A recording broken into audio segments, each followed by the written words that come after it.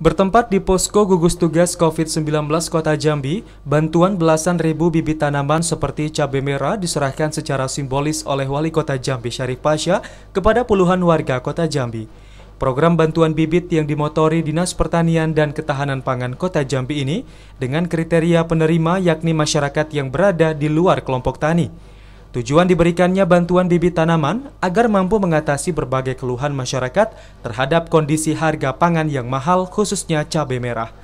Masyarakat diajarkan untuk bercocok tanam sehingga kebutuhan pokok seperti cabai merah tidak perlu lagi dibeli di pasar. Tak sekedar memberikan bantuan, Fasya berharap masyarakat yang menerima bantuan agar merawat dan melakukan budidaya.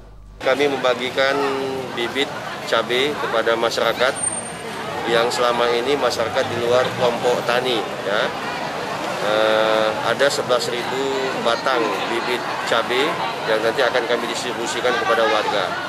Kemudian juga kami menyerahkan bantuan korban kebakaran ada beberapa tempat termasuk di Kelurahan Rawasari, Bayu Sigadung yang terbakar uh, beberapa kemarin.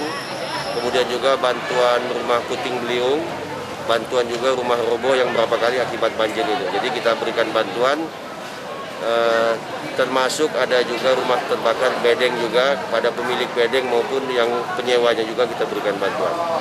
Wali kota juga turut memberikan bantuan kepada puluhan warga yang terkena bencana seperti kebakaran, angin puting beliung, dan bencana alam lainnya. Bantuan berupa uang tunai diharapkan dapat meringankan beban warga dalam memenuhi kebutuhan hidup sehari-hari jelang Hari Raya Idul Fitri.